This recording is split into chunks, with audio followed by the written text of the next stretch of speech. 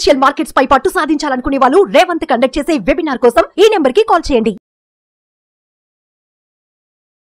నమస్తే welcome to Vishnu talks ప్రస్తుతం నాతో పాటు NISM and CRISIL certified wealth manager Revanth Chalamala ఉన్నారు. వారితో మాట్లాడదాం. నమస్తే రేవంత్. నమస్తే అండి. రేవంత్ ఒక సింపుల్ టాపిక్ ఒకటి తీసుకుందాము. ఓకే. ధనవంతులు అయిన వాళ్ళు అవుతున్న వాళ్ళు అవ్వాలి అనుకుంటున్న వాళ్ళు వాళ్ళ ఆలోచనలు ఏ విధంగా ఉంటాయి. ధనవంతులు కాలేక ఆగిపోయిన వాళ్ళు ఆగిపోతున్న వాళ్ళు వాళ్ళ ఆలోచనలు ఏ విధంగా ఉంటాయి అసలు? సో ప్రతిదానికి మూలం ధనం. మూలం ఇదం జగత్ ఎస్ సో బేసిక్గా ఈ మొత్తాన్ని డిసైడ్ చేసేది మనం చూసే విధానం. Hmm, ఒక పుస్తకాన్ని చూసినప్పుడు ఎంటర్టైన్మెంట్గా కొంతమంది చూస్తారు. Hmm, అదే పుస్తకాన్ని ఇంకొకరు చూసినప్పుడు దాంట్లో నుంచి ఏదో ఒక పాయింట్ని పిక్ చేసుకొని hmm, వాళ్ళ లైఫ్లో దాన్ని అలవాటుగా మార్చుకొని ఎదుగుతారు. సో చూసే విధానం అంతే. ఒకటే పేపర్ అందరూ చదువుతారు. అందరికీ సేమ్ పాయింట్స్ ఉంటాయి అందులో. కానీ ఒక్కొక్కళ్ళు ఒక్కొక్కటి పిక్ చేస్తూ ఉంటారు. అవసరమైంది పిక్ చేసిన వాడు ధనవంతుడు అయిపోతాడు. hmm. సో బేసిక్ ఇక్కడ కొన్ని బిహేవియరల్ చేంజెస్ ఉంటాయి. చాలా క్లియర్గా చెప్తా. సో ఇక్కడ నేను ధనవంతుడా అంటే రిచ్ పోర్ అనే. కేటగరైజేషన్ కాదు కానీ. పోర్ మైండ్ రిచ్ మైండ్ అని. Hmm. రైట్? సో బేసిక్గా పోర్ మైండ్ సెట్తో ఉండే వాళ్ళు ఏం చేస్తారంటే రిచ్గా కనపడటం కోసం ప్రయత్నం చేస్తారు. వాళ్ళ లైఫ్ అంతా కూడా సో బేసిక్గా నేను బాగా కనపడాలి రిచ్. వాళ్ళలాగా కనపడాలి అన్న దానికోసమే మన జీవితం అంతా తాపత్రయపడిపోతూ ఉంటారు Hmm. సో బేసిక్ అదే రిచ్ పర్సన్ ఏం చేస్తాడు నిజంగా అసలు వెల్త్ని క్రియేట్ చేసే దాంట్లో మాత్రమే టైం స్పెండ్ చేస్తాడు కనపడటం గురించి అసలు ఆలోచించాడు అండ్ తర్వాత వచ్చేసరికి వీళ్ళు ఏం చేస్తారంటే కేవలం శాలరీ కోసం pay check to pay check కోసం మాత్రమే పనిచేస్తారు Hmm. ఒకవేళ శాలరీ రాకపోతే కనీసం నెక్స్ట్ మంత్ గడవలేని సిచ్యువేషన్లోనే వాళ్ళు ఉండే ఇందులోనే ఉండిపోతూ ఉంటారు సో వాళ్ళ పే చెక్ యొక్క పని ఏంటి అని అంటే వాళ్ళ నెల అవసరం తీర్చడం కోసం మాత్రమే పెట్టుకుంటారు Hmm. సో బేసిక్గా ఈ ప్రెటెంట్ టు బి రిచ్ అని ఇందాక చెప్పాను కదా Hmm. అలా కనపడటం కోసమే వీళ్ళ పే చెక్ అనేది కంప్లీట్గా ఖర్చు చేస్తూ ఉంటారు. అదే ధనవంతుడు ఏం చేస్తూ ఉంటాడు? అసలు ముందు pay check to pay check కాదు అసలు ముందు నా దాంట్లో నుంచి వచ్చిన దాంట్లో నుంచి వెల్త్ని క్రియేట్ చేయడంలో చూస్తూ ఉంటాడు. Hmm. ఒక లంసమ్ అమౌంట్ ఒక శాలరీ అమౌంట్ వచ్చింది అని అంటే ఫస్ట్ ఎక్కడ ఇన్వెస్ట్ చేయాలి అన్న దాంట్లోనే మాత్రమే చూస్తుంటాడు కానీ ఇప్పుడు నేను ఏం వేసుకోవాలన్న దాంట్లో వాళ్ళ మైండ్ సెట్ని పెట్టుకోరు. సో నెక్స్ట్ ఏం చేస్తారు? వీళ్ళు ఏదో ఒక product pretend to be rich. ప్రతి ఒక్కదానికి నా దానికే లింక్ అయి ఉంటాయి ఈ ప్రిటెండ్ టు బి రిచ్ దాంట్లోనే ఆ ప్రోడక్ట్ కొనాలా ఈ ప్రోడక్ట్ కొనాలా ఇంట్లోకి టీవీ కొనాలా సోఫా కొనాలా లేదా కారు కొనాలా ఇంకేదన్నా కొనాలా లేదా గోవా వెళ్ళాలా బ్యాంకాక్ వెళ్ళాలా Hmm. ఇందులోనే మనం ఆలోచిస్తూ ఉంటారు కానీ. అదే అసలు రిచ్ పర్సన్ ఏం చేస్తూ ఉంటారంటే ఈ గోవా బ్యాంకాక్ వీళ్ళు వెళ్తున్నారంటే ఫ్లైట్లో వెళ్తారు సో ఇండిగో షేర్లు కొంటాడు అదే Hmm. వీడు ఏదో ఒక కంపెనీ ఏసీ కొంటాడు సో. కన్స్యూమర్ థీమ్లో ఇన్వెస్ట్మెంట్లు పెడుతూ ఉంటారు వీడు. ఖచ్చితంగా తిండి కోసం డబ్బులు ఖర్చు పెడతాడు విపరీతంగా Hmm. సో ఎఫ్ఎంసీజీ స్టాక్స్ కొంటాడు వాటిల్లో నుంచి వచ్చేటువంటి రిటర్న్స్ తోటి ఇవన్నీ మళ్ళీ వాళ్ళు. ఆ. ఈ రెండింటిల మధ్యలో ఉండేటువంటి వ్యత్యాసం ఇన్వెస్ట్మెంట్స్ చేస్తుంటారు దాని మీద వచ్చే రిటర్న్స్తో వీళ్ళు అనుభవిస్తారు అవసరాలు తీర్చుకుంటారు కానీ ముందు ఏం చేస్తారు అని అంటే. వీటిల్లో పెడతారు పెట్టుబడి పెడతారు చూసే విధానం అందరికీ గోల్ అదే కానీ ముందు ఏ పని చేస్తాము అన్న దాన్ని బట్టి ఇటు రిచా పూరా అని డిసైడ్ అవుతూ ఉంటుంది. అండ్ తర్వాత మనకి పూర్ మైండ్ సెట్లో ఎక్కువ అప్పుల గురించి ఆలోచిస్తూ ఉంటాం అవసరాల కోసం. అప్పు పర్పస్ ఎందుకు చూస్తాము? అయితే ఎడ్యుకేషన్ అనో ఎడ్యుకేషన్ ఇస్ ఆల్సో డీసెంట్ అది ఇన్వెస్ట్మెంట్ లాగా ట్రీట్ చేయొచ్చు. ఖర్చు కూడా కాదు అది.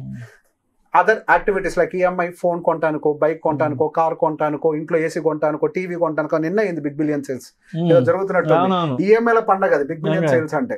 రైట్ దానికోసం అప్పుల కోసం చూస్తూ ఉంటాం. ఉమ్. అదే రిచ్ మైండ్ సెట్ వాళ్ళు ఏం చేస్తారు? నీకంటే ఎక్కువ అప్పుల కోసం చూస్తాడు. కానీ వాడు అప్పులు దేనికోసం చేస్తారు? వాళ్ళు కేవలం ఇన్వెస్ట్మెంట్ పాయింట్ ఆఫ్ వ్యూలోనే చూస్తారు. ఎప్పుడైనా మంచి ఆపర్చునిటీ దొరికితే ఆ టైంలో కొనడం కోసం ఎదురు చూస్తూ ఉంటారు. ఇప్పుడు పోర్ మైండ్ సెట్ వాళ్ళ దగ్గర ఓడీస్ ఉంటాయి రిచ్ మైండ్ సెట్ వాళ్ళ దగ్గర ఓడీస్ ఉంటాయి. పోర్ మైండ్ సెట్ వాళ్ళు ఓడీస్ని వాడుకొని ఖర్చు పెడతారు. రిచ్ మైండ్ సెట్ వాళ్ళు ఆ ఓడిని ఆపర్చునిటీ ఎప్పుడు వస్తుందని ఎదురు చూస్తూ ఖాళీగా పెట్టుకొని కూర్చుంటారు. ఎప్పుడైతే ఆపర్చునిటీస్ దొరుకుతాయో వెంటనే దాన్ని పెట్టి కొంటారు. ఉమ్. ఇది పైకి వెళ్తుంది అద్భుతంగా రిటర్న్స్ సంపాదిస్తూ ఉంటారు. So Hmm. చూసే విధానం. అందరికీ సేమ్ ప్రొడక్ట్స్ అండ్ తర్వాత ఏం జరుగుతుంది? అడ్వైస్ తీసుకునే విషయంలో. రిచ్ మైండ్ సెట్ ఏం చేస్తాడు? ఎప్పుడు సేవింగ్ ఉంటుంది? ఉమ్. మనం నలుగురు ఏ నలుగురితో తిరుగుతుంటామో మనం అదే అని. సో బేసిక్గా వాడు తిరిగే ఆ పీపుల్ అండ్ వాళ్ళ సర్కిల్ కూడా చాలా different గా ఉంటుంది. Productive mindset proper advisory mindset and professional mindsets ఉన్న వాళ్ళతో తిరుగుతూ ఉంటాం. అదే పవర్ మైండ్ సెట్ ఏం చేస్తూ ఉంటాం? బల్లల మీద కూర్చొని తప్పుగా నేను అనట్లేదండి Hmm. ద- దయచేసి అర్థం చేసుకోవద్దు. మళ్ళీ. అంటే నేను కించపరచడం కాదు నా భావం. సో బేసిక్గా మనం డిస్కస్ చేసే టాపిక్కే. అలాగుంటది. అసలు ప్రొడక్టివ్ టాపిక్స్ మీద డిస్కషన్ పెట్టకుండా we only discuss on unwanted stuff like movies A politics సినిమా ఎప్పుడు రిలీజ్ అవుతుంది టికెట్లు శుక్రవారం yes. అన్నెసరీ డిస్కషన్ పెట్టుకుంటూ ఉంటారు Hmm. సో వీళ్ళు ఏం చేస్తారు ఇన్ ద సేమ్ టైం మీరు ఇక్కడ డిస్కషన్ పెట్టే టైంలో మీరు దేని గురించి డిస్కస్ చేస్తుంటారు వాళ్ళు దాంతో వ్యాపారం చేస్తూ ఉంటారు. ఇట్స్ అ సింపుల్ థింగ్ ఇప్పుడు మీ దగ్గర ఉండేటువంటి ఆ నలుగురు ఎవరు అనేది మీరు ఖచ్చితంగా నిర్ణయించుకోవాలి. అండ్ ఇంకొకటి వీళ్ళు ఏదైనా పని చేయాలి అనుకున్నప్పుడు పని విషయంలో Hmm. పవర్ మైండ్ సెట్ ఏం చేస్తుంది అని అంటే ఏ ఇప్పుడు నేను వాడికి రూపాయి ఇస్తే ఎందుకు నా జేబులో నుంచి డబ్బులు పోతాయి? ఇప్పుడు వాడికి ఏదో ఇస్తే ఇప్పుడు ఫర్ ఎగ్జాంపుల్ ఏదో రియల్ ఎస్టేట్ ఒక మంచి. ప్రాపర్టీని ఐడెంటిఫై చేసే పనిలో పడ్డారు. పవర్ మైండ్ సెట్ ఏం చేస్తుంది నేనే వెతుక్కుంటాను అంటారు. వాళ్ళు ఏం చేస్తారు? లీవ్లు పెట్టి మరీ తిరుగుతూ ఉంటారు. టైం అంతా స్పెండ్ చేస్తూ ఉంటారు. వీళ్ళు ఏం చేస్తారు? అదే టైంలో ఆ పనిని వేరే ఒక బ్రోకర్కి అప్పచెప్పేసి. వాళ్ళు ఇంకొక పనిలోకి వెళ్ళి అక్కడ డబ్బులు సంపాదిస్తూ ఉంటారు. వీళ్ళు ఏం చేస్తారు డబ్బులు వచ్చే పనిని వదిలేసి ఈ ప్రాపర్టీని వెతకటము ఇంకేదైనా పనుల మీద రీసెర్చ్ చేయడం లాంటిలో టైం వేస్ట్ చేస్తూ ఉంటారు వీడేమో డబ్బులు సంపాదిస్తాడు వీడేమో వచ్చే ఆదాయాన్ని లీవ్ పెట్టుకొని మరి ఖర్చు పెడుతూ ఉంటాడు. సో ఎదగాలనుకునేవాడు పనిని పది మందికి డిస్ట్రిబ్యూట్ చేసి వాళ్ళ మీద సంపాదిస్తాడు. ఎవరైతే ఎదగలేరు నా జేబులో ఉన్న రూపాయి అట్లా ఉండాలి అంటే రూపాయి ఉండాలని ఎవరు కోరుకోరు. ఖర్చు అయిపోద్దామన్న చిన్న మైండ్ సెట్ ఉన్న వాళ్ళు మాత్రం ఏం చేస్తారు అంటే వాళ్ళే పని చేయడానికి ట్రై చేస్తూ ఉంటారు. ఉమ్. సంపాదించే టైంలో మీరు టైంని స్పెండ్ చేసుకుంటూ సంపాదించుకోరు. వీళ్ళేమో ప్రొడక్టివ్ అవుతారు మీరేమో వెతుక్కుంటూ కూర్చుండిపోతారు. వీడికి ఆపర్చునిటీస్ ఈ ల్యాండ్ దొరికే లోపల పది ఆపర్చునిటీస్ ఎదుగుతూ ఉంటాడు. మీరు మాత్రం ఒకటే ల్యాండ్ మీద ఎతుకుతూ కూర్చుంటూ ఉంటారు. సో బేసిక్గా మనకి ఇక్కడ కేవలం మన ఆలోచనలో ఉండేటువంటి తేడా మాత్రమే. సో బేసిక్ ఇక్కడ ఒక చిన్న సేయింగ్ అంటే మొన్న ఈ మధ్య ఏదో తనకల బర్లీ కానీ ఒక చిన్న డైలాగులు విన్నా. ఈ ప్రతి ఒక్క మనిషికి మధ్యలో ఉండేదల్లా ఏంటి అంటే జీతం మధ్యలో తేడా నువ్వు ఏసీ రూమ్లో కూర్చొని సాఫ్ట్వేర్ ఉద్యోగం చేయి. రోడ్డు మీద వాడు కేవలం క్లీన్ చేసుకొని మీ ఇద్దరు చేసేది జీతం పనే ఇద్దరు పని చేసేది జీతాల కోసమే ఆ నెల ఖర్చుల కోసమే. మీ ఇద్దరి మధ్యలో ఉన్న వ్యత్యాసం ఏమీ లేదు. Hmm. ఎవడైతే ఈ రియల్ లైఫ్ స్టైల్ మార్చుకోవాలి అని అనుకుంటారో వీళ్ళిద్దరి Hmm. మధ్యలో ఉండే ఒకే ఒక చిన్న గీత ఏంటి అని అంటే మనం చూసే పర్స్పెక్టివ్ మీరు ఇటు కోణంలో చూస్తారా ఇటు కోణంలో చూస్తారా అనేది మాత్రమే మీరు ఏం చేస్తారు మీరు ఏం అవుతారు అనేది నిర్ణయిస్తుంది.